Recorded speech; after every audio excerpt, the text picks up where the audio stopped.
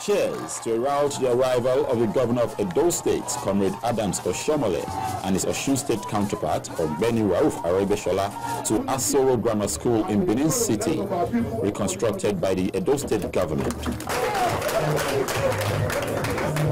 Before now, this school had been a sorry sight, a feature that characterized about 500 schools across the state but that appears to be changing, and the students of Asoro Grammar School can't hold back their appreciation for the government's effort.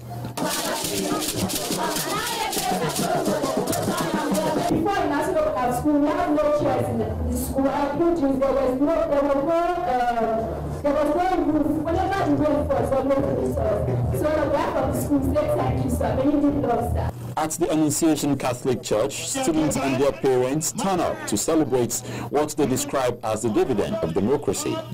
He has renovated the school, yes, we like that. You know, this we are not living in computer age, it's a modern life. Yes, we want to live big. The fans are blowing us, you know, living in a good and uh, well-tied uh, classes. Governor Oshiomhole says his decision to invest in education was fired by the desire to give equal opportunity to every Edo indigent.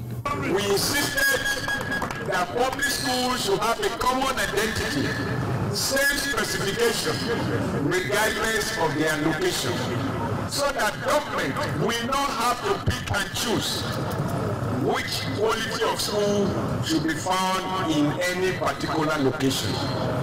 For Governor Aregbesola, these students now have an opportunity to aspire for a greater tomorrow. The greatest gift you can have from your parents, from every responsible government, is education. What do I say?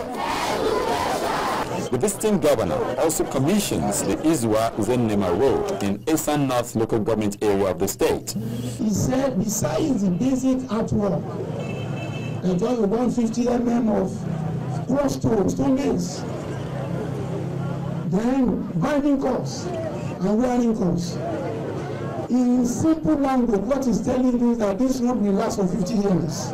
In the meantime, the Edo State government has promised that there is no going back on its plans for massive infrastructural overhaul across the state.